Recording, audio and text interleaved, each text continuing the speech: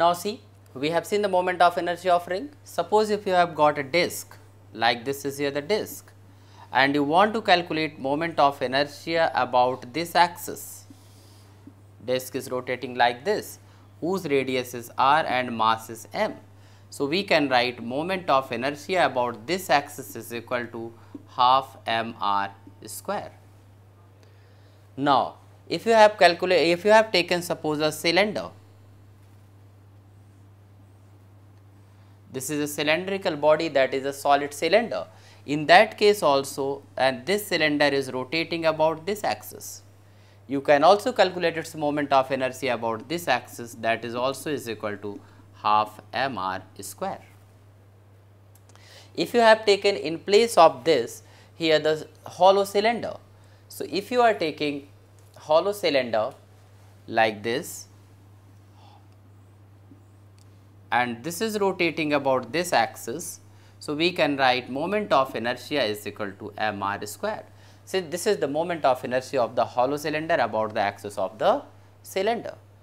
Now, we can take similarly hollow sphere and solid sphere. So, for hollow sphere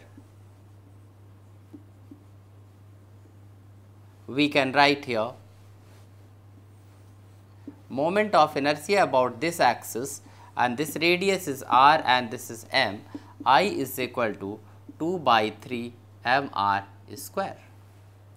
If it is the solid sphere, then we can take here in place of this for now here the solid sphere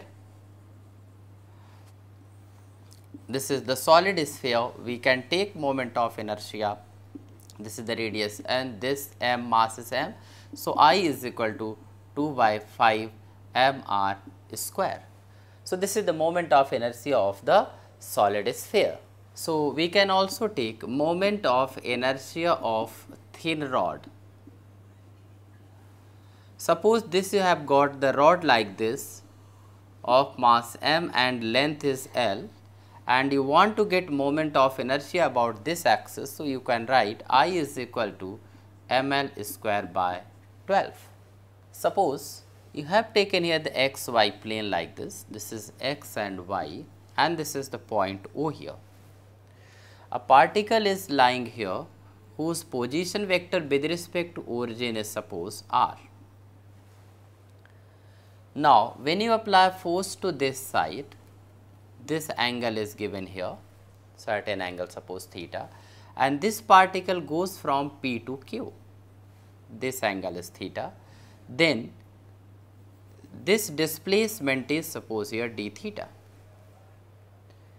Then in this case work done is given by dw is equal to torque into d theta. So, by this formula we can calculate the work done by the torque. If you know the work done, then we can write dw by dt. Now, we have we are differentiating with the time. Here dw upon dt is equal to torque into d theta upon dt. So, we can write this as power. So, power is equal to torque into omega. So, actually this derivation no need to derive this one. So, when the body is rotated by a small angle d theta, then the work done by the torque is equal to here tau into d theta and the power associated with this p is equal to tau into omega.